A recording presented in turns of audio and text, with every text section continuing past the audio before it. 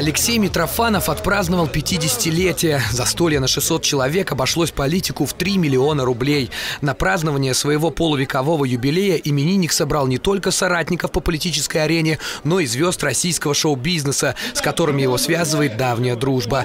На сцене нашлось место и Никите Джигурде, который в этот вечер блистал не только остроумием, но и хвалился откровенным нарядом своей супруги, фигуристки Марины Анисиной. Духовного здоровья, духовного, то всем повторяю, духовный фалос, чтобы у Леши не падал. А остальное все приложится. У меня храм мамы любимой женщины вставляет хлеще водки, коньяка и анаши. И, и желаю этого и э, юбиляру. Подарки были разные. Кто-то оплачивал часть банкета, чтобы друг не спустил на торжество все свои сбережения. Кто-то отдал старинную икону, чтобы в дом юбиляра никогда не приходила беда. А кто-то не стал раскошеливаться и посчитал, что лучшим подарком станет книга, причем собственного сочинения. Ну, что может подарить писательница Роза Сибитова?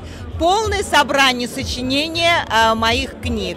Ну а Юрий со своей стороны подарил э, золотую ручку Паркера я все-таки хотел пожелать Алёше, чтобы он встретил следующий свой юбилей, то есть следующие 50 лет, да, ну это уже будет 100 лет, а в окружении как минимум 10 внуков и правнуков.